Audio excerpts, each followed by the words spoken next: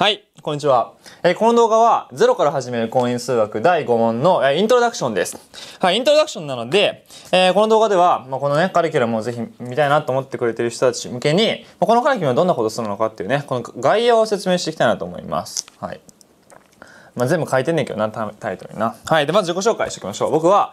えー、杉山と言います。はい。今ね、京都大学の理学部で数学を勉強しますので、何？この、このカリキュラムに限らず、ね、あの、数学に関することだったら質問をね、何でも受け付けますので、なんかわかんないことがあったりとかね、えー、勉強法で質問とかがあったら、サポーターシステムでもいいし、この授業のコメント欄でもいいので、ぜひ、えー、コメントしてください。そしたらね、喜びますのでね、お願いします。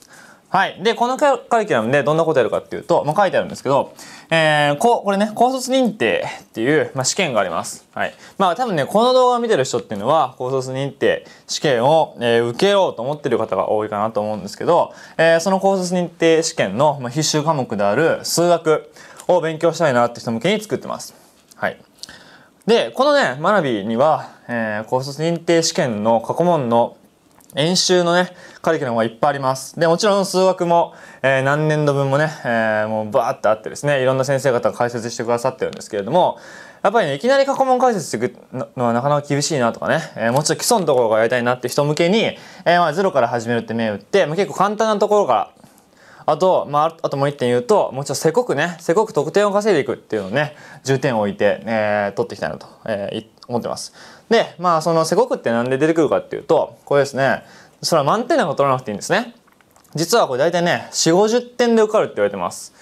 まあ、でも、実際ね、数学って一番合格率低いんですよ。えー、皆さん苦戦します。なんで、えー、ぜひね、まあ苦手も意識を持ってるってとこ大きいんやけども、えー、ぜひね、余裕を持って60点、70点取って合格するってとこ狙いながら、えー、勉強していきたいなと思います。はい。で、えー、そういうふうに、あのー、学びにね、過去問演習がいっぱいあるんで、そちらも、もうこのカリキュラム後にでもぜひ見てほしくて、えー、僕も取ってますが、えー、いろんな先生が要するにあの高卒認定試験っていうのは1年間ね2回あります。8月と11月に2回ありますから、まあ、その第1回第2回っていうのをそれぞれ、えー、大問12345って順番にねこう解説してくれてるんだけど、えー、その動画を見る前にねやってほしいなと思います。でさらにもう一個宣伝しておくとこれ第5問のカリキュラムなんですね。なんで第5問にフォーカスしてますので、もちろん1234と6っていうのがあるんですね。他もね連続して見てくれるといいかなと思います。ちなみに第5問ってどんな問題が出るかっていうと最初に言っておくとこれめっちゃ簡単で第5問落としちゃダメですね。あの三角比のめっちゃ簡単なところが出ます。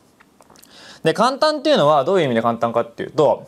あの内容が簡単とかじゃなくて点取りやすさっていう点で簡単っていうね。だから頑張ればできますので一緒に頑張っていきたいなと思います。はいじゃあねイントロ長くしても知らないので、えー、次回から実際に第1回。えー、最初はね三角比の定義みたいなちょっと面倒くさいことになりますがそこ乗り切った後楽なので一緒に頑張っていきましょう。はいじゃあお疲れ様でした。